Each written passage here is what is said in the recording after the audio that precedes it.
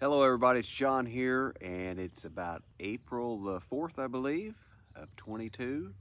Uh, I've always been told or read that uh, when it comes to moving beehives you need to go at least uh, less than three feet or more than three miles. And before I've done that and of course that's worked successfully uh, but this year I've got something a little different going on here in my own front yard and I need to move the beehive 135 feet. Uh, I made the mistake really four years ago of putting a few beehives in my front yard about 50 feet from my front door.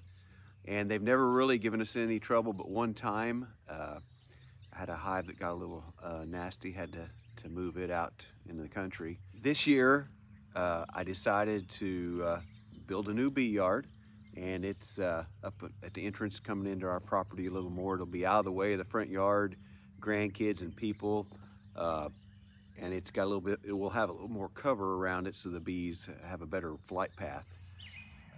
My problem is this here, uh, the beehive is gonna have to move from this location across to my front drive and if you can see through there past that stone that's my new bee yard and for this 135 feet, I would have to move the hive several times, three feet every other day, uh, down to uh, to the new bee yard. And again, this is right here in my front yard, and it just doesn't look very smart to to leave the bees uh, flying in and out towards the house and down the drive, and where a lot of people gather over here uh, by the old fire gazebo.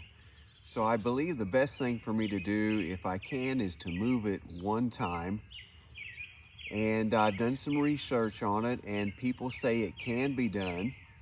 So I'm gonna try to figure out if that will work. They say you can move a, a beehive a shorter distance, but the best thing to do is uh, close it up for a day or two.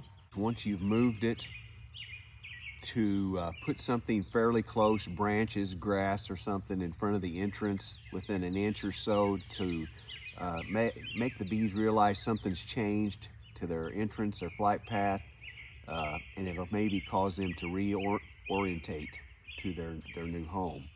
This is the new bee yard where the hive is going to go. I've already got uh, one of my top bars uh, that died out this winter, so I moved it and got it set up. And then I also put my two new Layens hives in here. Everything is leveled and ready to go for some swarms to be caught here, hopefully in the next few weeks. And then I've also got my pad ready for, for that top bar hive to set on. I've uh, tried to make this yard a little more private from uh, people. Um, my goal is to plant some uh, lavender and some Russian sage along the front here. And we've got some more uh, uh, plants and uh, Maximilian sunflowers planted over here. So hopefully everything will grow up a little bit. And then this takes it out of the front yard and it allows the bees a little bit more privacy. And I installed this fence here to get the bees to fly up and out and over so I'm hoping it'll be a lot better home for the bees. Okay, last night it got dark. I closed up the entrance, moved the bees up here to their new home. It rained most of the evening uh, and the, most of the day. Uh, it's a little nicer right now. It only got up to about 60 today. And uh, the vents are open underneath. You can really hear the bees roaring in there. Their main entrance was the hole on the left there where I corked it. Uh, I think just to confuse the bees a little bit, I'm going to open the cork on the right-hand side. Uh, and you can see that I've got a little black uh, cover down there. That's half of an old beetle barn. So I put it over the whole entrance and the cork at the moment. And it, it hangs out about an inch or so, inch and a half from the hole. I pulled the cork last night about dusk and it's about 22 hours later here. Uh, it rained a lot of the night and it rained till a little after 12 noon. Uh, so this afternoon, my wife said the bees are flying good.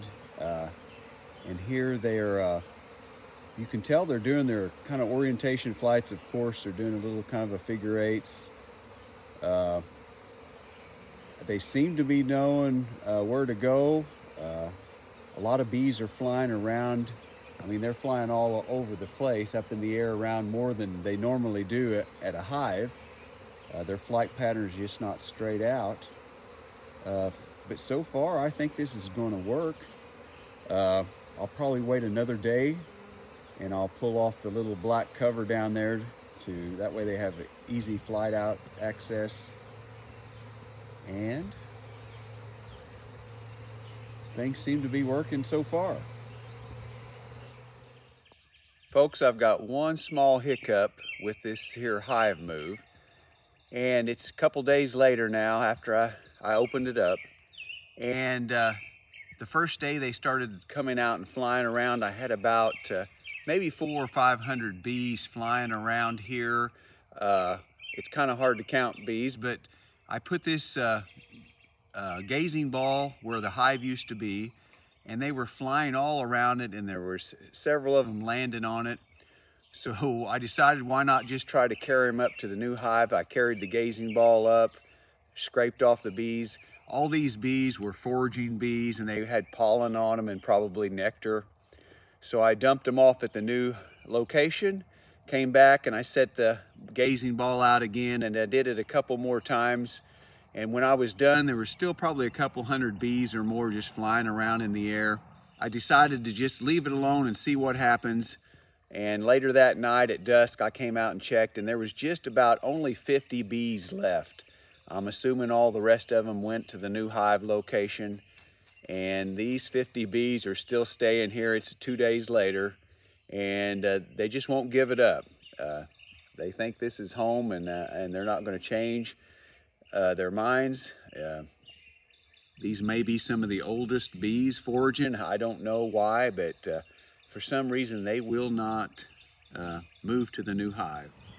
Well folks, it's been six days and I'm gonna have to say this is probably a 98% effective hive move. And could I do it again? I don't know. Uh, there's so many variables I added to this that might have helped. Uh, first of all, I faced the new hive in a southerly direction instead of easterly. Secondly, I moved the entrance over six inches to confuse the bees. And then I put a blockage in front of the entrance when I opened it to kind of have them uh, redirect as they fly out. They were also in the hive uh, for 24 hours before I opened it. And then when I opened it, uh, they had to stay because it was nighttime and then rain another probably 14 hours before they could get out.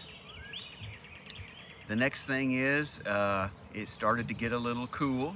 Uh, nights were down in the th uh, low 30s. In the daytime, temperatures were low 50s. And finally, I installed uh, the new hive here with the fence around it. And I'm wondering if that might have made a difference as they fly out and have to contend with the new fence in front of them. So all these things might have helped in some sort of way to uh, make this move a little easier for them. And I still have about 50 bees down at the uh, other location. Uh, like I said, uh, I guess they're just gonna stay there because they will not come up here. I also wondered, uh, as the first day they were out flying around, the way they were really traveling around in the air, I do not know if uh, bees would uh, put out a scent for the foragers to help them get back to the hive since it's moved. Uh, it makes you kind of wonder what caused the, the rest of the bees that were at the first uh, place where they were at to move up here that evening. Something had to draw them. So I don't know. Uh, I, I will tell you this, it can be done. Uh, I hope you, if you give it a try, you have uh, good fortune with it also. Thanks again for watching.